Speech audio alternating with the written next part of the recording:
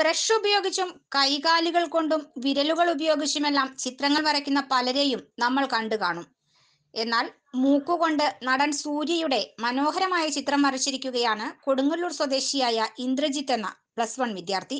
നേരത്തെ കൈവിരലുകൾ കൊണ്ട് ടൊവിനോയെയും കാൽവിരലുകൾ കൊണ്ട് വിജയിയെയും വരച്ച ഇന്ദ്രജിത്ത് പ്രശംസ പിടിച്ചുപറ്റിയിരുന്നു ചിത്രരചനയിൽ വ്യത്യസ്തത ആഗ്രഹിക്കുന്നതിനാലാണ് ഇന്ദ്രജിത്ത് മൂക്കുകൊണ്ട് പുതിയ രചനാരീതി പരീക്ഷിച്ചത്.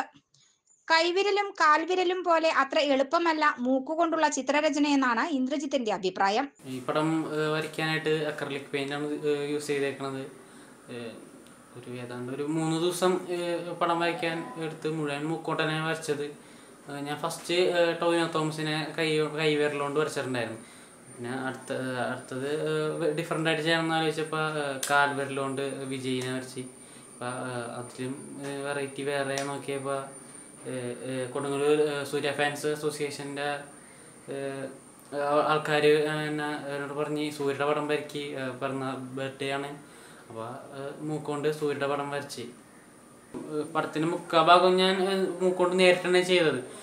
കുറച്ച് കഴിഞ്ഞപ്പോൾ മൂക്കുമ്പോൾ സ്ക്രാച്ച് ഇടാൻ തുടങ്ങി. അപ്പോൾ മൂക്കുമ്പോൾ ബാൻഡേജൊക്കെ ഒട്ടിച്ചിട്ട് ബാക്കി മൂക്കൊണ്ട് തന്നെ മുഴുവനും തീർത്ത്. ആറടി വലിപ്പമുള്ള ബോർഡിൽ പോളിഫോം സ്പോഞ്ച് ഒട്ടിച്ച് അതിനു മുകളിൽ തുണിയിലായിരുന്നു ചിത്രരചന.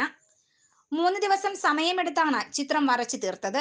അക്രിലിക് കളറുകൾ ഉപയോഗിച്ചാണ് ആറടി ഉയരവും നാലര അടി വീതിയുമുള്ള ചിത്രം ഒരുക്കിയത്. കൊടുങ്ങല്ലൂർ സൂര്യ ഫാൻസിന്റെ ആഗ്രഹപ്രകാരം ജന്മദിന സമ്മാനമായി നൽകാനാണ് ചിത്രം ഒരുക്കിയത്. ഇതിനോടകം എഴുപത് മീഡിയങ്ങളിൽ ചിത്രങ്ങൾ തീർത്ത ചിത്രകാരൻ ഡാവിഞ്ചി സുരേഷിന്റെ മകനാണ് ഇന്ദ്രജിത്ത്. ചിത്രരചനാ രീതികളിൽ വ്യത്യസ്തമായ മേഖലകൾ തേടുന്ന പിതാവിന്റെ അതേ പാത തന്നെയാണ് മകനും പിന്തുടരുന്നത്. സൊലെ ന്യൂസ് ബാങ്ക് തൃശൂർ.